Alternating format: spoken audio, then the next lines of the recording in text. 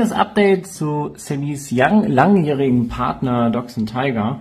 Die haben nämlich jetzt was richtig Cooles rausgebracht. Sammy, darf ich mal? Äh, ihr kennt ja die, die puren Hähnchenstücke, also die Würfel. Die gibt's jetzt auch als Lachsversion. Und natürlich mit Schnittchen 15 könnt ihr da darauf auch äh, Rabatt bekommen. Und die sind halt super zum Spielen, aber auch für aufs Futter drauf. Wie gesagt, einmal zum Spielen super.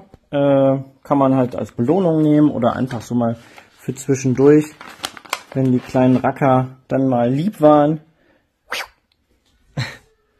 kann man die ganz gut werfen. Äh, die kann man jetzt auch deutlich besser werfen. Die Hähnchen, die sind etwas kleiner, die Stücke. Die fliegen dann nicht ganz so weit, weil die halt nicht so viel Gewicht haben.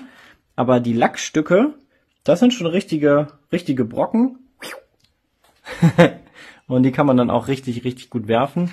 Und das macht natürlich dann nochmal für den Semi mehr Spaß damit zu spielen, ne? Und hepp. Boah, mega gefangen.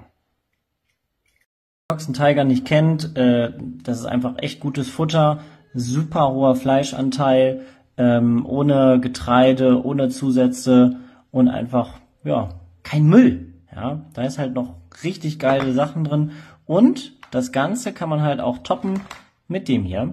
Und mit den gefriergetrockneten Lachsstreifen kann man halt fast wie bei uns mit ein bisschen Petersilie das Ganze nochmal richtig schick anrichten.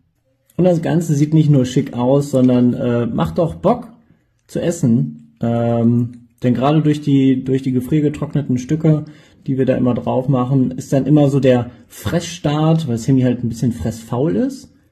Äh, und deshalb glaube ich auch immer gerne was liegen lässt. Ähm, das Futter ist halt gut, aber ich glaube, wenn man das dann noch so damit toppt, dann haben sie nochmal mehr Bock loszulegen und auch aufzuessen. Und das ist halt echt gut, wird kein Futter verschwendet und Sammy hat die Kraft für den Tag, um im Garten zu spielen.